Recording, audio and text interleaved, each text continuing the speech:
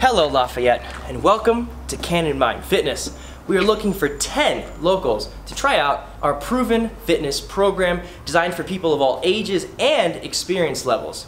Hear me out. Our goal is long-term health.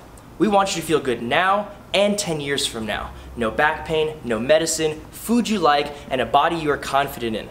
If this sounds like something you're interested in, please go ahead and contact us for your free one-on-one, no sweat intro. We can't wait to meet you.